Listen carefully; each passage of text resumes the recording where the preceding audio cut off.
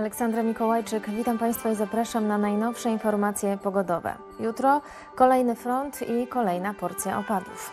Do południa jeszcze w miarę pogodnie, tylko na zachodzie od rana będzie pochmurno i chwilami deszczowo, a po południu opady pojawią się już w całej Polsce. Znowu w górach spodziewamy się deszczu ze śniegiem i śniegu, ale tak jak i dzisiaj również będzie momentami wychodziło słońce. Wyjątkowo najchłodniej na Dolnym Śląsku, tylko 8 stopni, a najcieplej w wąskim pasie przygranicznym od Świnoujścia po Słubice, tutaj 14 kresek.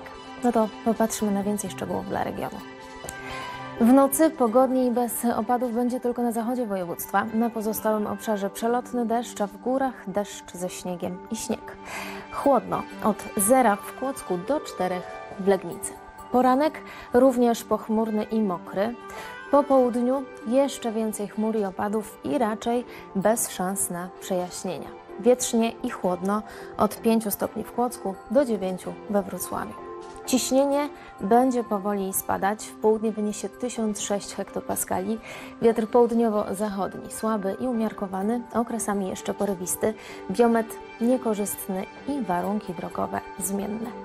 I na dzisiaj to już wszystkie informacje o pogodzie. Spokojnego wieczoru i do zobaczenia.